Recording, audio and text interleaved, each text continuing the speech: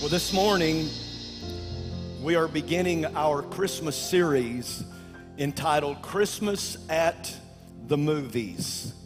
Christmas at the Movies. And I have been excited about this series.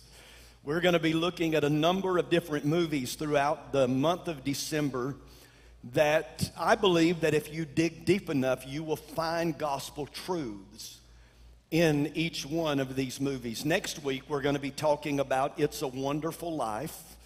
And how many of you know that a wonderful life is only possible because of the wonder of life, Jesus Himself? And then the next Sunday, we're going to be talking about the movie Elf. You're like, Pastor, can you really find something redemptive in the movie Elf? You'll just have to come and find out. And then Christmas Eve, Sunday morning, we'll just be doing one service, and that day we're going to talk about the Grinch. The Grinch. But what a transformation of heart. His heart grew, his heart was changed. And really, that's the whole message of Christmas that all of us have the hope that our heart can be changed. But today we're going to be looking at this movie, Home Alone. How many of you have seen the movie Home Alone? Come on now, be real. I've got my hand up. I've seen it more than once. I think it is hilarious. I think my favorite part in the movie, and I know there's a whole deeper meaning than this, but I think my favorite part in the movie is when Kevin takes the spider and he puts it on the face of the guy and he gives out that girl scream, you know, because he's terrified of that spider on his face. I don't know what it is, but every time I see that scene in the movie, I just I laugh hilariously. Um, this movie is a family comedy. Came out in 1990. Can you believe it? It's been that long since this movie first came out. 1990 and uh, I don't know if it still is, but for many, many, many years, it was the highest grossing comedy movie of all time. Made more money than any other comedy uh, that's, that's ever been made. Uh, and I'm sure that when they made this movie, they probably didn't expect that. Um, but as I said a moment ago, most every hand went up in this room when I asked, Have you seen the movie? And you've probably, like me, seen it more than once. Now, if I were to ask you, to describe your family to me today? Would you say, well, if we were making a movie about my family, it would also be a comedy? Would, those of you that would say that would be my family, let me see your hand.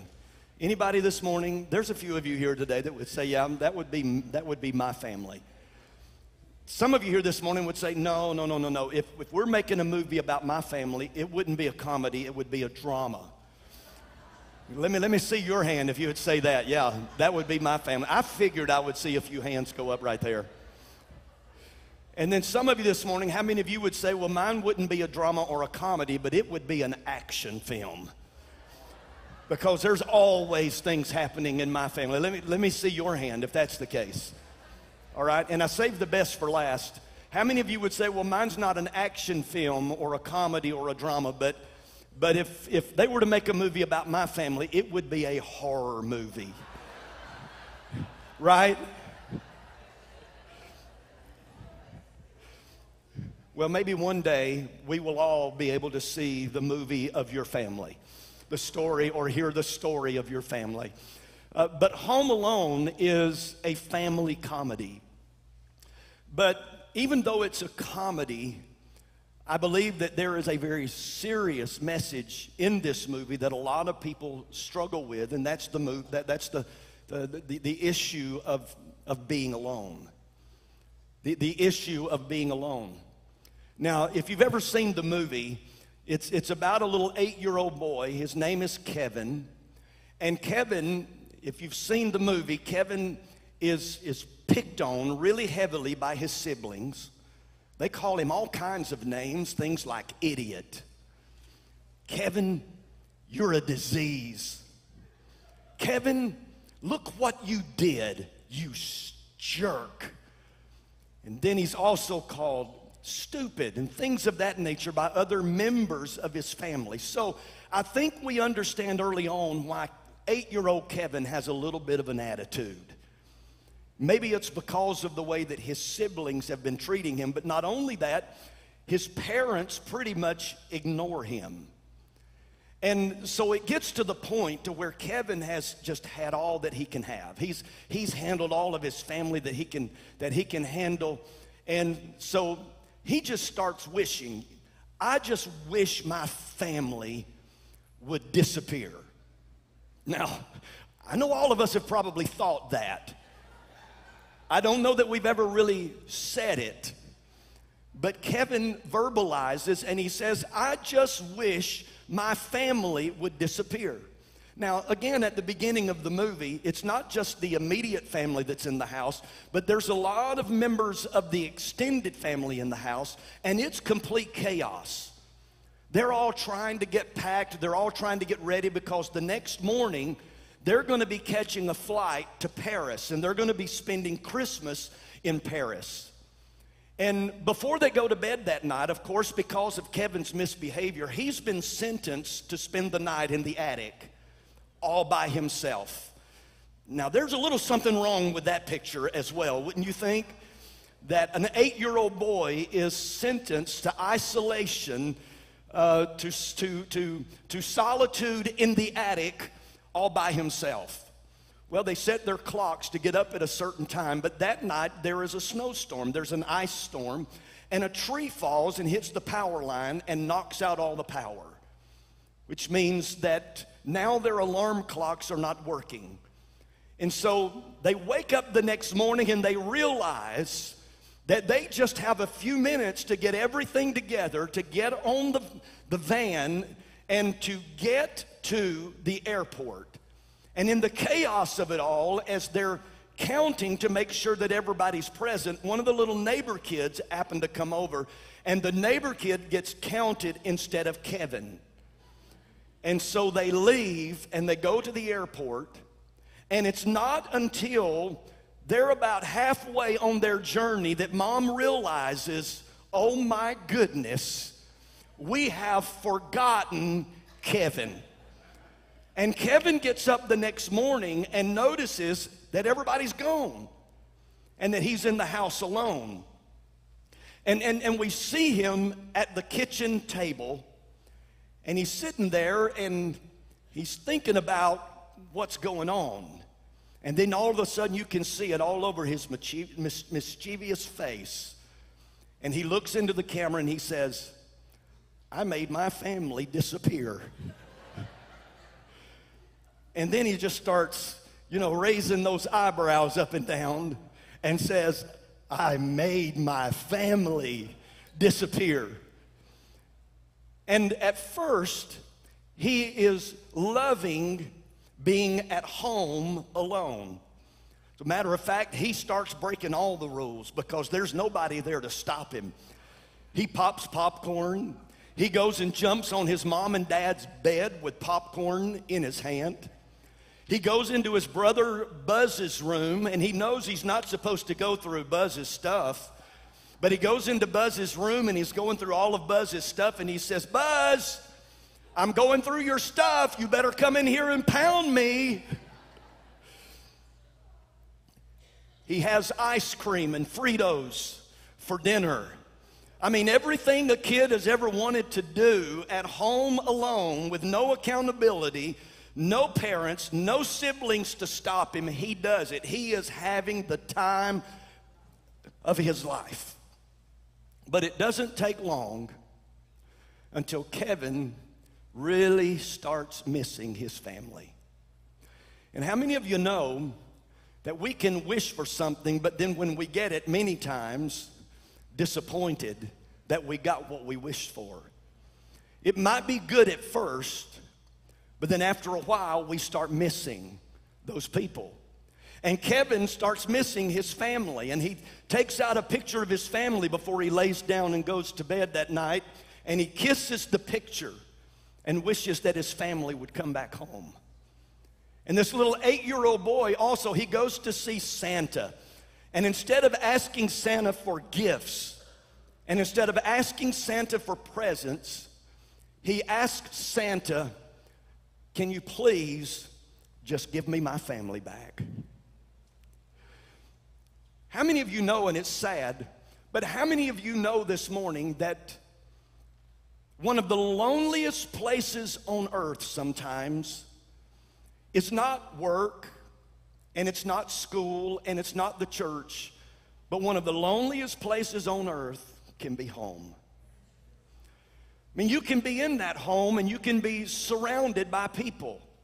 Your parents can be there. Your children can be there. There can be other members of the family there, yet you still feel alone in your own home. Listen to what the psalmist said in Psalm chapter 25, verse 16. He said, God, I need you to turn to me and be gracious to me, for I am lonely and afflicted. You know, I believe there's some people in this room here today who feel that way, that you feel lonely and afflicted. And man, it's, it's tough to feel lonely during the holidays, isn't it? Notice what he said in Psalm 102, verses 4 through 7. He said, My heart is sick, withered like grass. I've lost my appetite. Because of my groaning, I am reduced to skin and bones. And then notice what he said. He said, I'm like an owl in the desert like a little owl in a far off wilderness. I lie awake, lonely as a solitary bird on the roof.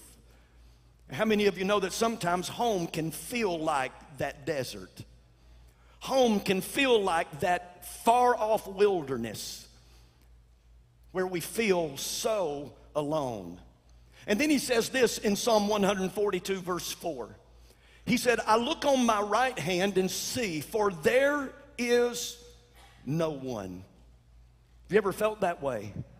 That you were in a time of need and you looked to your right hand to see if there was anyone there that could help you, but there is no one who acknowledges me.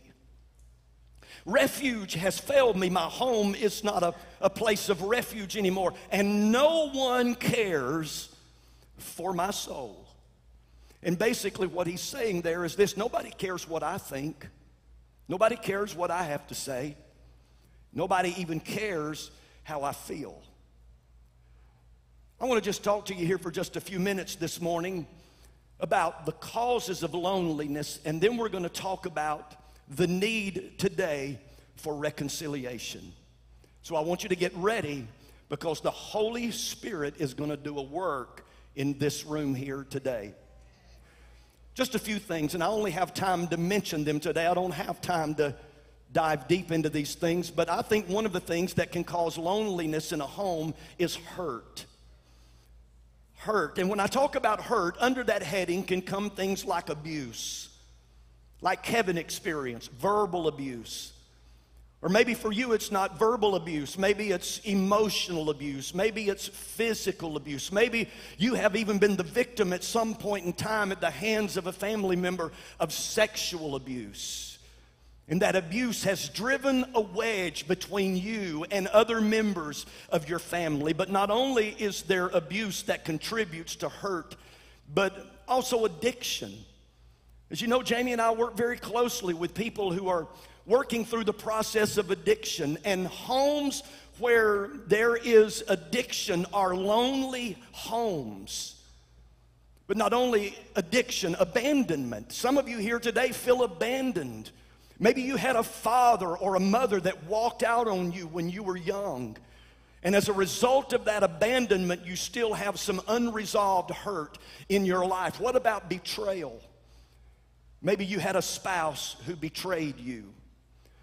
Maybe you had a parent who betrayed you. Maybe you had a child who betrayed you. I think another thing that can contribute to hurt is things like divorce. And some of you here in this room here today have experienced the pain of divorce. It's been very rare in my life that I've met somebody who truly wanted a divorce, who truly looked to looked forward to a divorce because they know how hurtful and how painful it can be to the other members of that family and they do everything they can to try to salvage that relationship only to see it fall apart, hurt. Here's, here's another thing that I think causes loneliness in a house is conflict. maybe unresolved conflict. Conflict over things like finances. We've talked about it over and over and over again that we've got to better manage and we've got to better budget our money, but yet it continues to come up over and over and over again. The conflict about money, the conflict even about faith that goes on in so many people's homes. Because you've got one who's a follower of Christ and another who has not yet become a follower of Christ, and there's always conflict in that home because one spouse can't understand why the other spouse wants to be at church all the time wants spiritual things for their lives when the other person doesn't seem to have that kind of hunger or that kind of desire for God in their life. You've got, you've got husbands going to one church and wife going to another church, and, and you've got all of this conflict that leads to loneliness in the house. And here's another thing I think that causes loneliness at home, and that's selfishness. Let's face it, some people are lonely because they choose to be lonely. They're not willing to make the sacrifices, they're not willing to pay the price. They're not willing to do what it takes to have deep, intimate, personal relationships. And when you begin to talk to them about what it takes, they say, Well, I'm too busy for that. I don't have time to nurture relationships, even in my own family. And then another thing that I think contributes to loss or, or, contributes to loneliness in a family is loss. Some of you over the past year, maybe you've lost a spouse. Maybe you've lost a parent. Maybe you've lost a child. Maybe you've lost another family member, and where the house used to be filled with their laughter and filled with their joy, filled with their sense of humor, just their presence in the home that brought such comfort to you, but now they're gone and you feel so alone. And then another cause, I believe, is isolation. I mean, let's face it, very few families really come together anymore. You got the daughter back in her room on TikTok. You got the son over in his room playing video games. Dad is down in the family room watching the football game. And mom, she's just back in a room away from everybody because she needs just a little bit of quiet time. But you've got all of these people. I got an amen right there. I figured I would. But what happens is, is we tend to isolate ourselves in the four corners of our home and never come together. And there's such loneliness in people's hearts. One other thing that I think contributes to loneliness in, in the home is communication, or may I say, a lack of communication. I mean, when is the last time, family, that you sat down together and just had a conversation with one another? Just talked to one another. Just shared your heart with one another. Sharing with one another how you're feeling, what you're going through. Needing some advice from other members of the family in your home. But because of that breakdown of communication, there's some wives in this room here today who are longing for their husband to talk to them. There's some husbands in this room who are longing for their wives to talk to them. There's parents that are longing for their children to just have a conversation with them. But what we find is we find all of these things contributing to loneliness in the home, and not just loneliness in the home, but listen to me, brokenness in the home broken relationships in the home because of many of these things. Relationships have been severed not just for days or weeks, but months and even years. Family members have not spoken to one another. Family members have not interacted with one another for one reason or another. As a matter of fact, there is a scene in the, the movie Home Alone that's about halfway through the movie.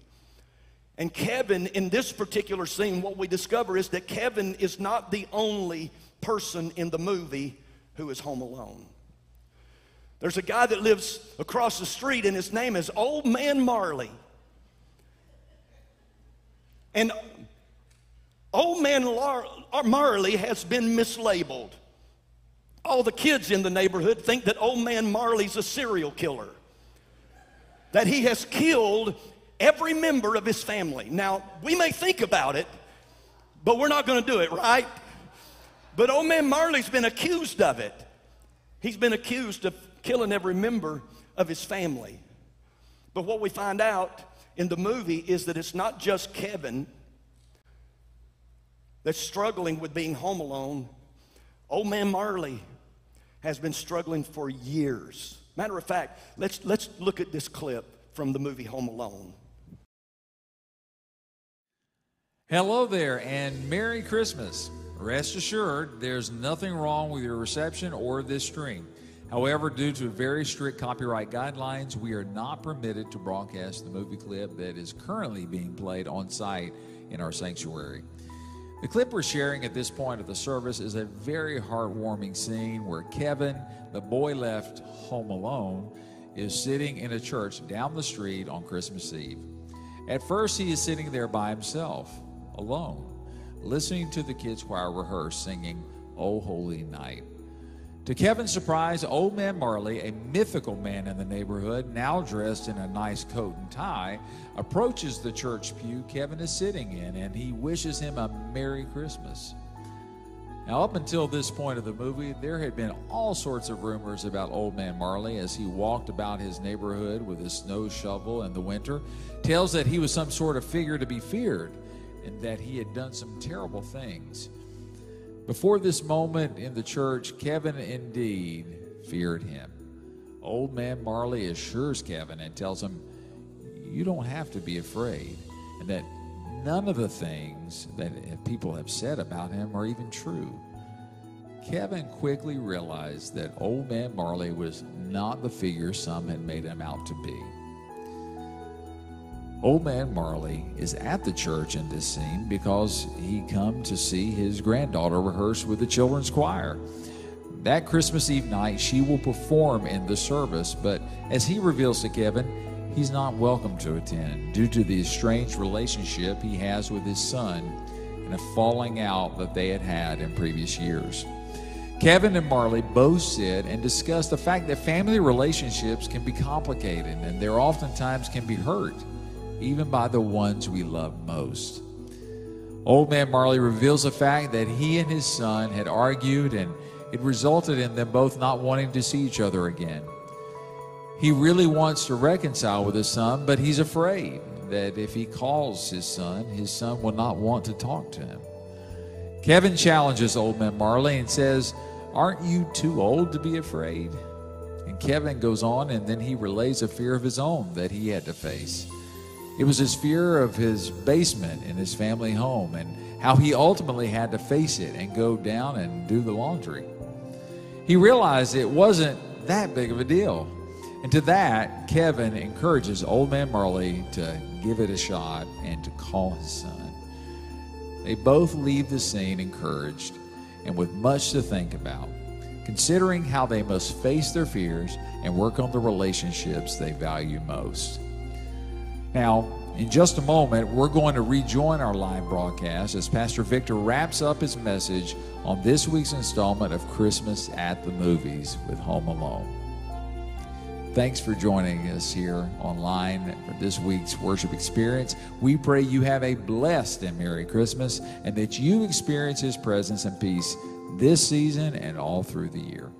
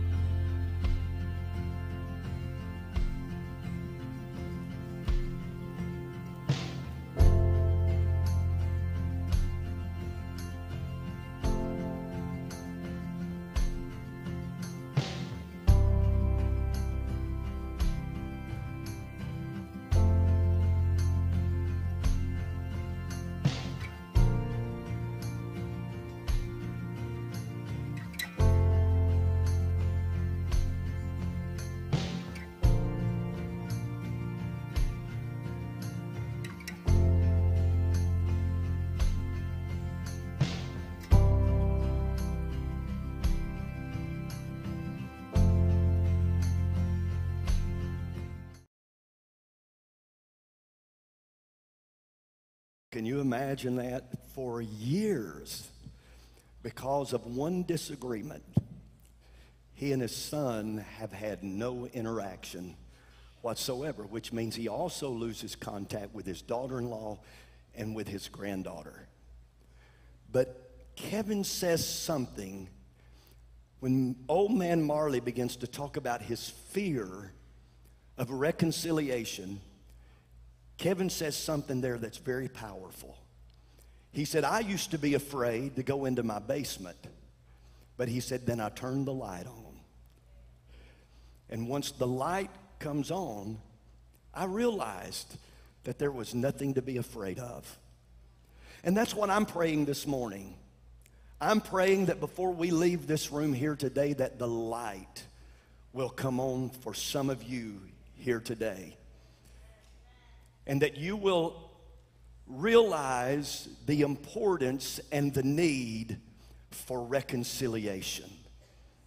The need for reconciliation. Don't let another holiday go by being estranged from your family. Give the best gift this holiday season that you could ever give to your family. Give them the gift of reconciliation. And listen, it's because of Christmas that reconciliation is even possible. Because that's exactly what God was doing through Christmas is that he was sending us his son and Jesus would remove every obstacle that stands in the way of you and I being reconciled to God the Father and you and I being reconciled to one another. Now, reconciliation is going to happen. We got to do what Paul says here in Romans chapter 12. Romans chapter 12, verse 18. Look at this passage. Paul says, If it is possible. Now, notice what a realist the Apostle Paul is here because he says, if. In other words, how many of you know that it's not always possible to reconcile? For a number of reasons, it may not always be possible to reconcile. And when it comes to reconciliation, you and I, we're kind of up against it because we don't hold all the cards, do we? We don't have control of all of the pieces. All we can do is what we can do but then the other person involved has also got to do what they can only do, and we can only control what we can do. We can't control whether they are ready to reconcile or not, or whether they're ready to pay, pay the price to reconcile that relationship. So he says, if it is possible, as far as it depends on you. Now, let me just stop right here and say that when we talk about reconciliation, reconciliation is really not the end goal in all of this. Reconciliation and our attempts to reconcile lead us to what the real goal is. And the real goal is not reconciliation, the real goal is no regrets. I don't want to come to the end of my life, or I don't want somebody who is very dear to me to come to the end of their life and their life pass before I have taken the opportunity to reconcile. I do not want any regrets. How many of you feel that way this morning that you don't want any regrets? And if you don't want any regrets, then what you're going to have to do is you're going to have to do everything within your power to remove every obstacle that is keeping you from reconciling with those people that deep down in your heart you really do love. And so he said, if it is possible, as far as it depends on you, you do everything that you can do. He said, live at peace with everyone. Now, he's not just talking about having peace in all of your relationships, but he wants you to have peace for all of your relationships. He doesn't want you to be in a in a in chaos in your soul and chaos in your spirit over things that are going on in your family but but God wants you to have peace in your heart and how do you get peace in your heart? Knowing that you've done everything that you can possibly do to remove every obstacle that stands between you and reconciling. Now, when it comes to reconciliation, there are four decisions, and we'll just look at these quickly. But there are four decisions that every one of us have to make in regards to reconciliation. And here's the first decision that we've got to make I'm going to decide this I will get back to, not get back at. Let me say that again. This is the whole purpose of reconciliation. We're taking retribution off the table, right? We're taking payment and repaying off the table. Reconciliation is not about getting even or paying back. It's not about getting back. It's, it's, not, it's, it's not about us getting to a place to where, where, where we're trying to get back at somebody. I'll get this out here in a minute. We're not trying to get back at somebody, but we're trying to get back to somebody. We're trying to reconcile with them. Look at what Jesus said in John chapter 3, verse 16. He said, For God so loved the world that he gave his only begotten Son, that whoever believes in him should not perish but have everlasting life. We know that verse, and if we're not careful, we always stop with that verse. But then notice what verse 17 says. It says, For God did not send his Son into the world to do what? To condemn the world, but that the world through him might be saved. So Jesus did not come to get back at us, Jesus came to get back to us. And so that you and I could get back to him. Paul talks about that in Second Corinthians 5, verse 18. He says, And all this, that is everything that Jesus has done, to make reconciliation with God possible for us. He said, All this is a gift from God who brought us back to Himself through Christ. And God has given us now the task of reconciling people to Him. How many of you this morning want to be more than just a believer in Christ, but you want to be a follower of Christ? Because there's a big difference in being a believer and a follower. When you say, I'm going to be a follower of Christ, you're saying that I'm going to follow his example in all things. And Christ was a reconciler. Christ was one who reconciled people to God. And so, if we want to follow his example, not only are we helping people reconcile to God, but we're also helping people reconcile with one another, those people that God loves so much. And then notice what it says in verse 19. He goes on and says, For God was in Christ reconciling the world to himself. He didn't come to get back at, he came to get back to you and back to me, and so that I could get back to him and you could get back to him. And then notice what he said. He said, In order for this reconciliation to take place, we can no longer count people's sins against them. Now, listen, you've got to understand this. This is so important. That if you're going to truly reconcile with somebody, You've got to come to the place to where you're no longer holding their sin against them. That you're no longer holding their wrong that they did to you against them. But it means that you have done everything that you possibly can to remove every obstacle, just like God did for us. We can't expect God to do something for us and then us not be willing to do it for one another. But we've got to do everything that we can to remove every obstacle that is standing between us and reconciling with our parents, reconciling with our children, reconciling with our other family members, folks.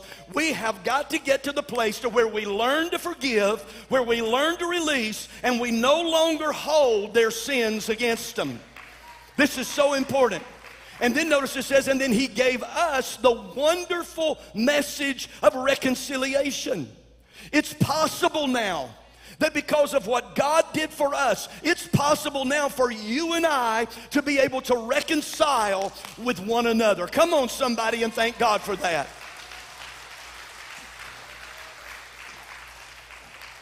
Amen. So it's not about getting back at, it's about getting back to. And I wonder this morning are you ready to get back to that relationship that God wants you to have with your spouse? Are you ready to get back to that relationship with your children? Are you ready to get back to that relationship with your mom or with your dad? There comes a time when you've got to say, okay, what you did hurt me, and it hurt me tremendously. But we're going to remove it today. We're going to forgive it today. I'm not going to hold it against you anymore after today. You're forgiven. But a second thing that we've got to do if we're going to reconcile is this we've got to make a decision that I'm going to own my slice of the blame pie. Because we're really good at focusing on what they did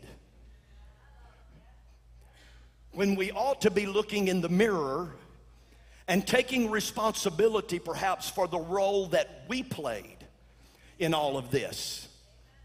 Do you know Jesus talked about this in Matthew chapter 7, verse 3?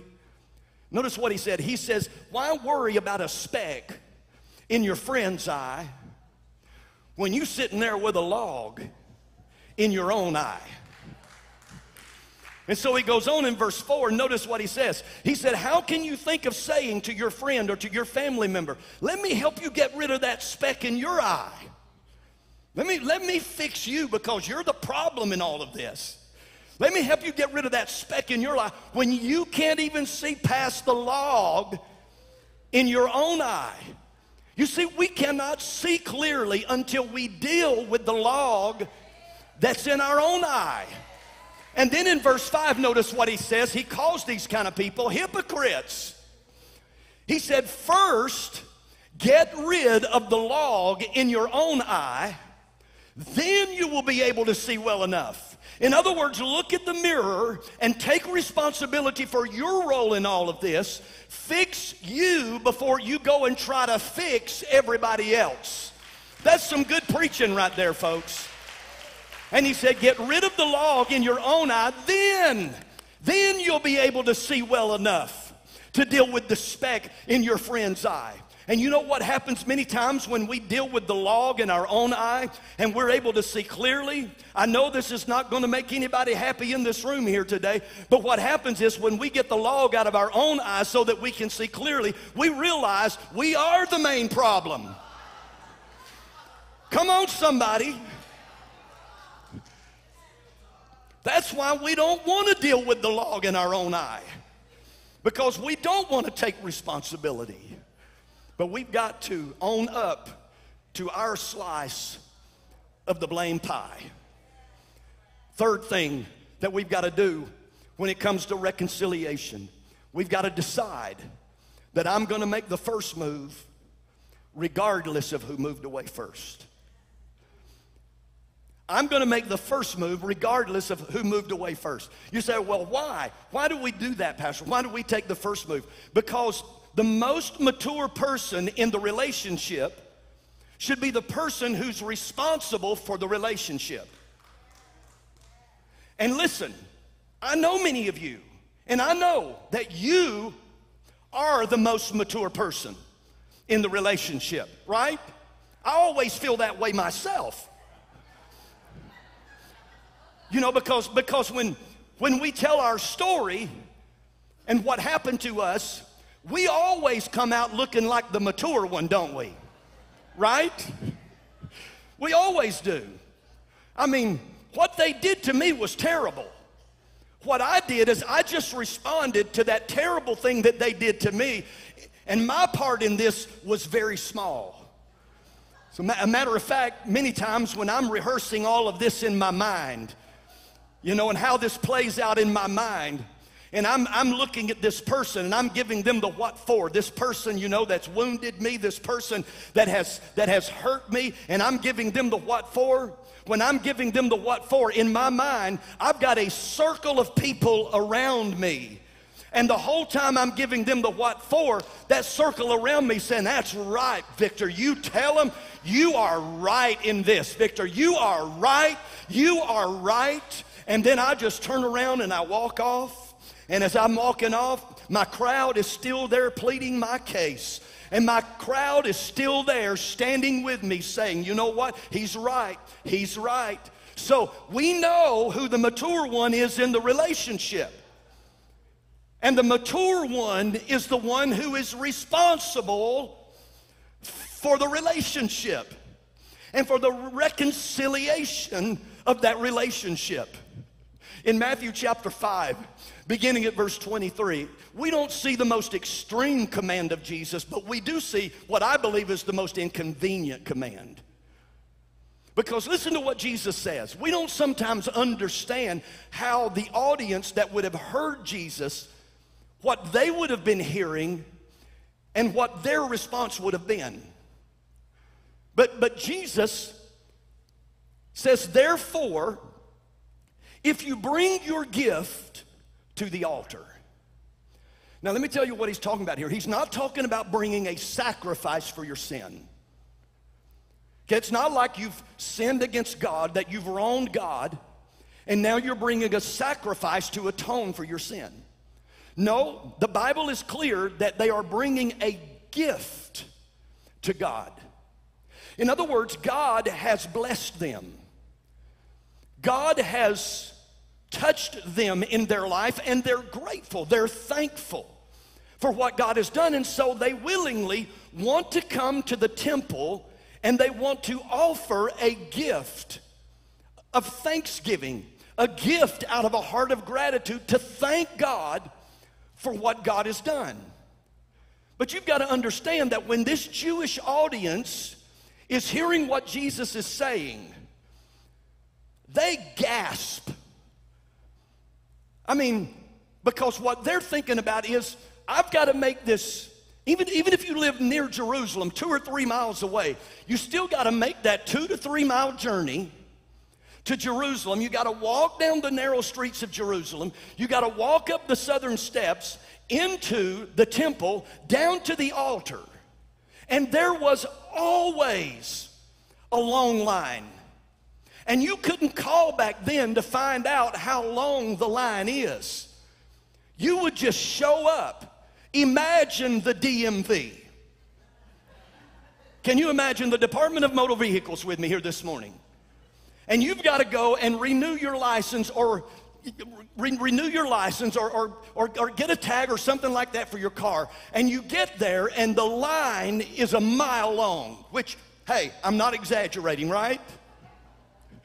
And you wait, and you wait, and you wait, and you wait in that line, and finally you get to the front of the line, and they call your number, and you're like, Yes, I've been here for 14 hours, and I finally got to the front of the line, only to hear the person in front of you say, We can't process this today because you forgot your birth certificate or you forgot your driver's license, or you forgot your passport, you forgot your identification, and you've waited in this line for 14 hours only to be told now that you've got to go back home and get the proper paperwork, come back, get in line again, because how many of you know at the DMV ain't nobody gonna hold your place in line?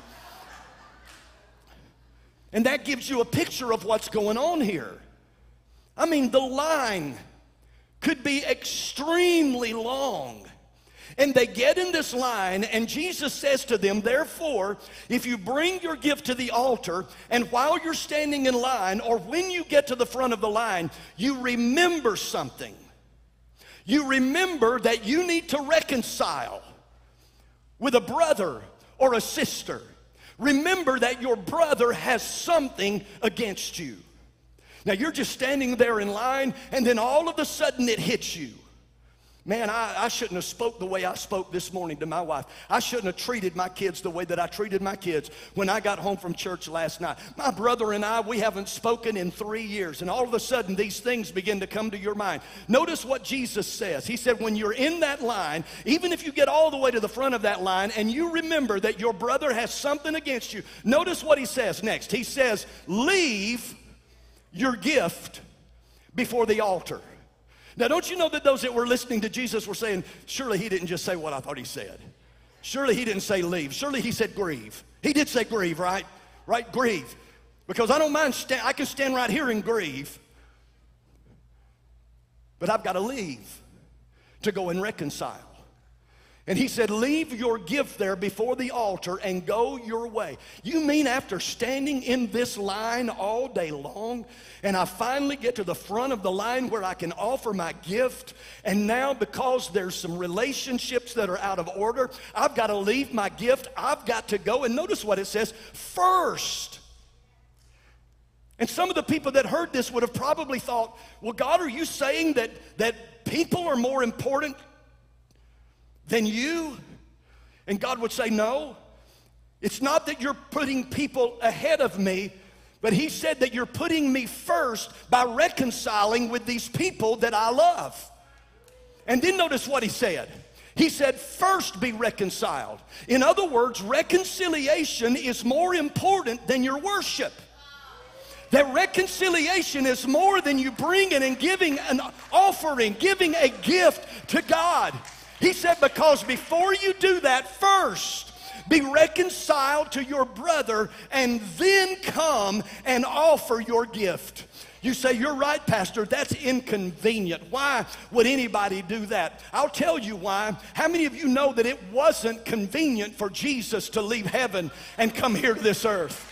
How many of you know that it was not convenient for Jesus to be wounded for your transgressions, bruised for your iniquities, the chastisement of your peace put upon him, and by his stripes you be healed? How many of you know it wasn't convenient for him to carry a cross up Calvary's hill? And to be laid on that cross, and for nails to be driven through his hands and through his feet, and a spear driven into his side. How many of you know it wasn't convenient for Jesus to die a torturous, painful death? and be put into a tomb. I'll tell you why he did it. He did it because he was willing to do whatever it takes so that you and I could be reconciled with God. So don't talk to me about inconvenience. I'm willing to do whatever I have to do to reconcile with the people that I love. Come on, somebody. Hallelujah. Here's the last thing. That is, when it comes to reconciliation, I've got to decide that I'm going to keep the door open and the welcome mat out. Because some of you have already shut the door. A long time ago, some of you rolled up the welcome mat and said, I'm done. Now, listen, I'm not asking you to keep the door open and the welcome mat out and invite somebody back in that is unsafe. You got to hear me this morning. Not somebody that's verbally abusive, not somebody that's physically abusive, not somebody that's emotionally abusive. You know who I'm talking about. But let's face it, many times that's not the situation. Many times we are so quick to write people off. But I am so thankful today that God didn't write me off. Hallelujah. That God keeps the door open and he keeps the welcome mat out. It reminds me of the parable of the prodigal son who went to his father and he told his father, he said, I've had enough of your rules. I've had enough of living in this house. I want my inheritance and I want it now and I'm leaving. And the father honored and granted the desire of his son. gave him his part of the inheritance. And the young man leaves and he goes out and he wastes every dime of his inheritance, the Bible says, on wild living until he doesn't have anything left. How many of you know sometimes you do have to release, give them to God? Sometimes they have to hit bottom. And this young man found himself in a pig pen, eating the same food that was fed to the pigs. I don't know if you've ever seen food that pigs eat. I don't want none of it. But he's eating the same food that the pigs eat. And then the Bible says one day he came to his senses. This young man did. He said, You know what? The least of my father's servants are eating better than me. So he said, Here's what I'm going to do I'm going to get up, I'm going to change my ways, and I'm going to go back home. And I'm going to ask my father to forgive me. And he takes off, headed toward home. And I love verse 20 of Luke chapter 15. So he returned home to his father. And look at this. And while he was still a long way off, not, not when he was on the sidewalk headed up to the stairs that come up to the front porch, because you can easily see somebody there. No, while he was still a long way off. Do you know what that tells me? That tells me that the Father has been looking hoping and praying that my son will come back home. While he was still a long way off, his father saw him coming. And filled with love and compassion, he ran to his son. He embraced him and he kissed him. But listen to what his son says because this is necessary when it comes to reconciliation. Verse 21 His son said to him, Father, I've sinned. I've sinned against both heaven and I've sinned against you. I'm no longer worthy to be called your son. He's repenting. He's asking forgiveness. He's taking responsibility for his part in the damaged relationship. And then, verse 22, notice what dad does. Dad doesn't hold his son's sins against him. He forgives him, and the father said to the servants, Quick, bring the finest robe in the house and put it on him. Get a ring for his finger and sandals for his feet. And then verses 23 and 24, he said, And kill the calf that we've been fattening.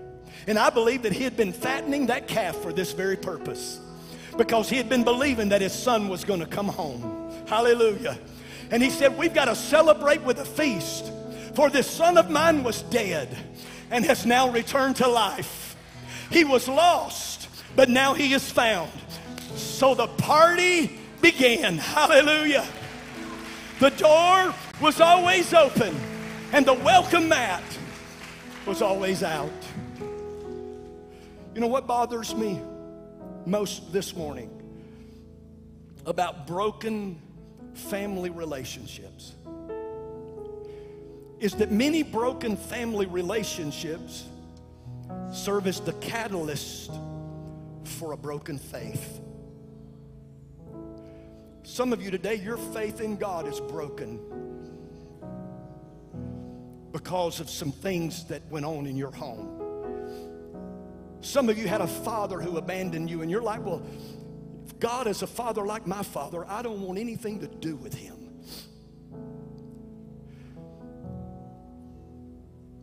So the hurt and the brokenness from those relationships has affected your faith in God. I'm begging you this morning Second Corinthians chapter 5, verses 20 and 21. Paul said, now that we've been reconciled to God through Christ, he said, we're now Christ's ambassadors, we're his representatives. And God is making his appeal through us. Listen, God is making his appeal to you today through me. And we speak for Christ when we plead. And listen, I'm pleading for you today. I'm saying to you today, please come back to God. I don't know what happened in your home. I don't know what kind of abuse you may have suffered, how badly you were abandoned or betrayed. I don't have all of those facts. And for many of you, it pushed you away from God because the very ones who hurt you claimed to be a Christian, claim, claimed to be a follower of Christ, and it's driven you further away from God rather than brought you to Him. And I'm just, I'm saying to you today, I'm pleading with you today, please, please come back to God. Because Paul says that God made Christ, who never sinned, to be the offering for our sin, so that you and I could be made right with God through Jesus. Do you know that Jesus has already removed every obstacle? The main obstacle being the obstacle of sin. He's removed every obstacle. It cost him greatly. It was inconvenient, but he removed every obstacle that would keep you from reconciling with God. The only obstacle that remains is will you believe it for yourself today? Will you receive it for yourself today? It's a gift that God gives you. Would this be the season that you finally open the gift? and receive it for yourself. Because the psalmist said this in Psalm 27 and 10. He said that even if my father and my mother abandon me, the Lord, He'll hold me close. I want you to stand with me this morning. I'm going to ask for the altar ministers to come. The team has a song that they're going to do. It drives this message home even further. But if you're here this morning and you don't know Jesus Christ, if you're still estranged from God, if you've been running from God, if you've drifted from God, I plead with you, come back to God today. These altar ministers are here ready to pray with you. They're ready to lead you in a prayer this morning that can change your life forever. Or maybe you're here this morning and you would say, Pastor, I don't want to go through another holiday season with the tension and the awkwardness that still exists in my family. But I want God to help me to be the one who initiates reconciliation. That this Christmas, my family will get reconciliation as a gift so that as we move forward, we can truly be the family that God intended us to be. There's folks are here ready to pray with you this morning. There's some husbands and wives that need to come here today as a first step of reconciliation. There's some parents and children that need to step forward this morning as a first step of reconciliation. There's some siblings that need to come together today as a first step of reconciliation. There's even some friendships this morning that need to take a step this direction as the first step toward reconciliation. Come on, let's let Holy Spirit speak and let's be obedient. Amen.